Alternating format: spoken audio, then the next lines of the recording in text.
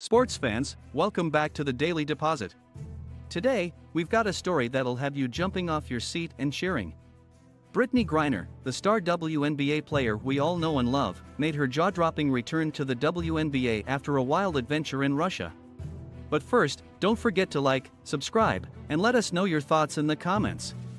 In her first regular season game, Griner showed us why she's a force to be reckoned with. Scoring 18 points, grabbing 6 rebounds, and blocking 4 shots, she made it clear that she's back and better than ever.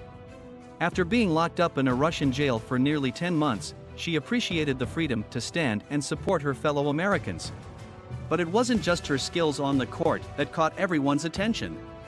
Griner took a stand, quite literally, for the national anthem. Griner stated, I was literally in a cage in Russia, unable to stand the way I wanted to. So now, being able to hear my national anthem and see my flag, I definitely want to stand. But hey, I support those who choose not to. We all have the right to protest and make our voices heard. Talk about turning a tough situation into a powerful statement.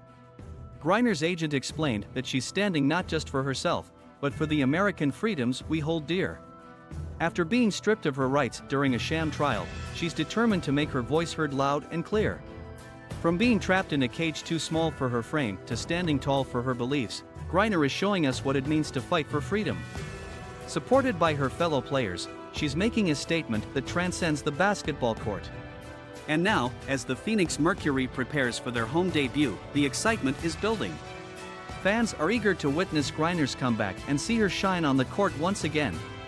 It's going to be a game filled with laughter, cheers, basketball magic, and her new perspective on American freedom.